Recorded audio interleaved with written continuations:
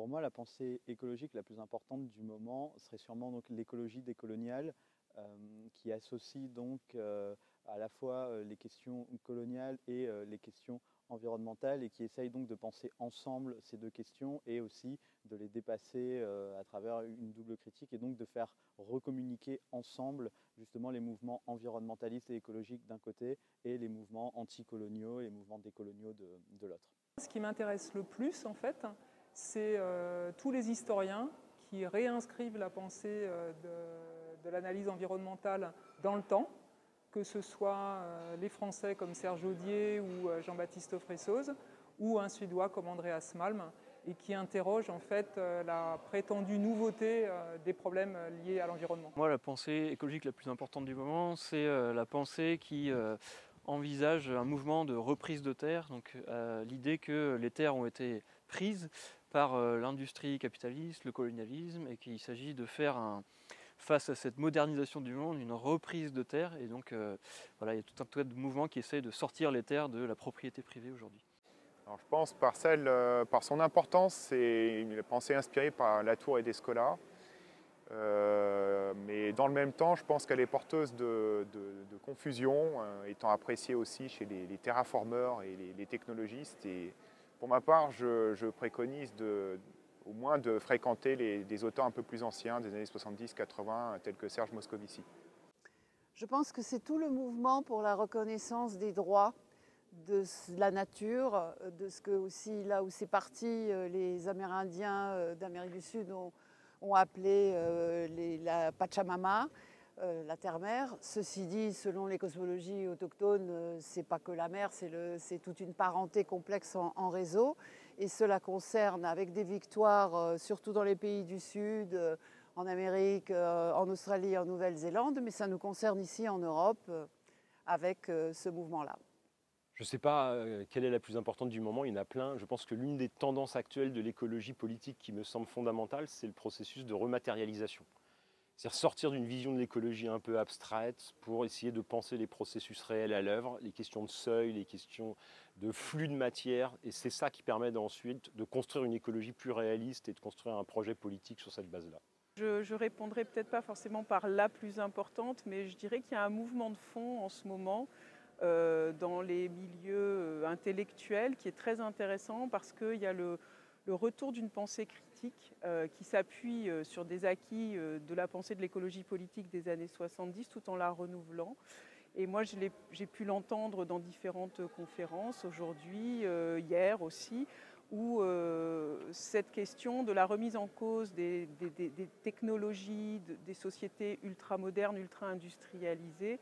se fait contrepoids avec l'idée d'un retour au savoir, au savoir-faire, aux formes traditionnelles d'usage des ressources et comment ces, formes traditionnelles peuvent constituer aussi de nouveaux modèles euh, pour les sociétés à venir. En fait, euh, simplement un truc euh, quasiment mathématique, si on veut décarboner l'économie comme les climatologues disent qu'il faut le faire pour ne pas dépasser 2 degrés, c'est-à-dire décarboner l'économie en 30 ans, c'est évident qu'on doit réfléchir sur une diminution vraiment drastique de énormément de matériaux, de consommation matérielle qui sont un peu les piliers du, monde contemporain, de l'économie contemporaine, le béton, le ciment, les engrais, l'acier et plein d'autres choses encore, le plastique. Et donc forcément, c'est la décroissance qui est à mon avis la chose essentielle maintenant. Je dirais que l'écologie n'est pas un secteur de notre vie, que c'est ce qui définit l'ensemble de notre vie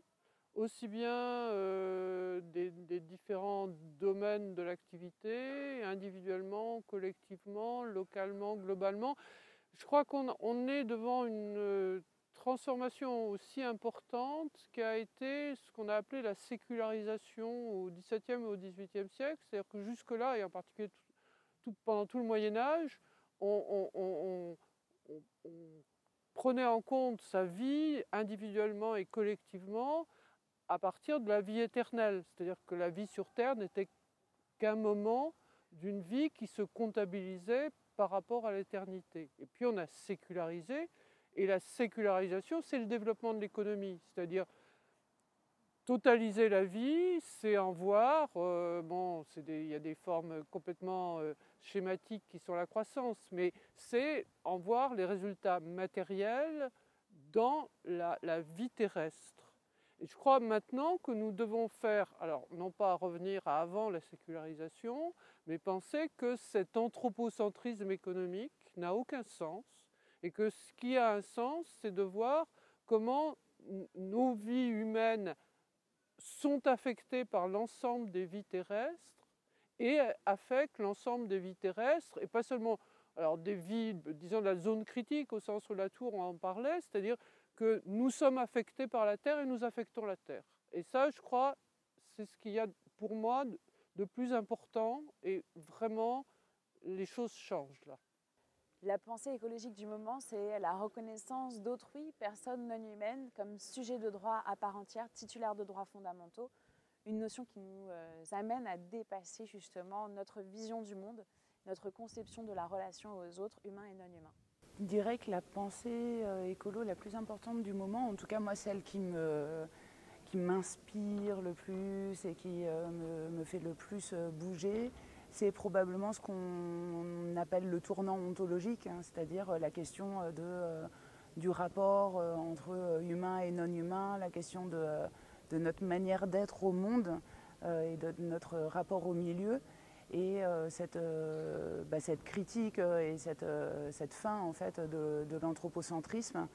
avec notamment tous les apports de, Philippe Descola et ensuite de, nombreux penseuses et penseurs, je crois que voilà, aujourd'hui, en tout cas, moi, c'est ce qui me semble le plus, euh, le plus nourrissant en termes de nourriture intellectuelle. Il y a la pensée écoféministe, la pensée décroissantiste, euh, la pensée solidariste. Toutes ces pensées-là sont capitales, mais moi je voudrais insister sur la pensée technocritique, qui est peut-être plus ancienne que, les trois que je viens de, citer, euh, mais qui me semble vraiment fondamentale euh, à une époque où les progrès techniques ont considérablement changé nos vies, euh, alors même qu'ils ont échapper la plupart du temps à la décision démocratique. Et je pense qu'il est euh, euh, très important à l'heure où on nous parle euh, du métavers, du transhumanisme, où on vit dans des sociétés profondément technologiques, de prendre conscience de l'impact qu'ont ces technologies sur nos, sur nos vies et de réencastrer le progrès technique dans la démocratie, de ne plus le laisser à des sociétés privées qui, dans la Silicon Valley, nous imposent des techniques comme étant inéluctables, et de prendre aussi conscience que le progrès n'est pas seulement technique, il peut être aussi social, démocratique, humain. Euh, donc la pensée technocritique qui nous donne beaucoup de clés pour, euh, euh, pour, pour comprendre ces, ces, ces enjeux-là me paraît, me paraît tout à fait importante. Alors moi j'ai envie de dire, parce que j'aime beaucoup la littérature, que la pensée écologique la plus importante pour moi, c'est celle qui ressort de livres dans lesquels il y a une incarnation. Euh, je voulais parler du livre Les diplomates de Baptiste Morisot, qui euh, est centré sur la question du loup, dans lequel il raconte des histoires autour du loup et, des personnes, mais aussi il nous montre à voir euh, ce qu'est l'organisation d'une meute de loups. Et j'ai créé un prix littéraire autour de l'écologie.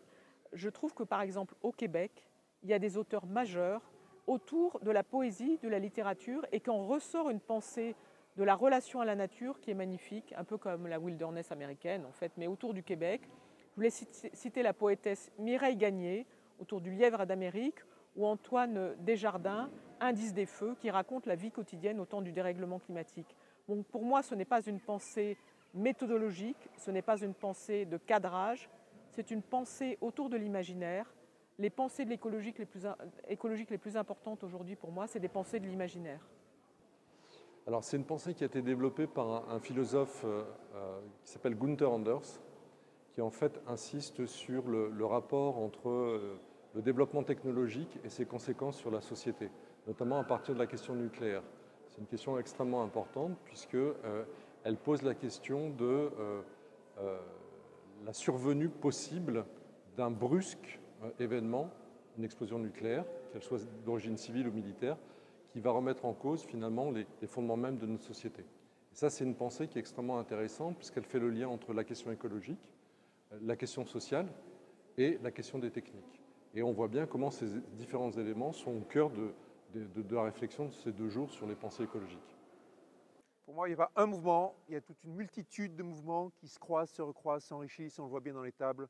Ça part sur de l'ancien, il y a du nouveau, il y a le regard des philosophes et humanistes qui se croisent avec le regard des techniciens, et c'est dans ce bouillonnement qu'est la pensée du moment.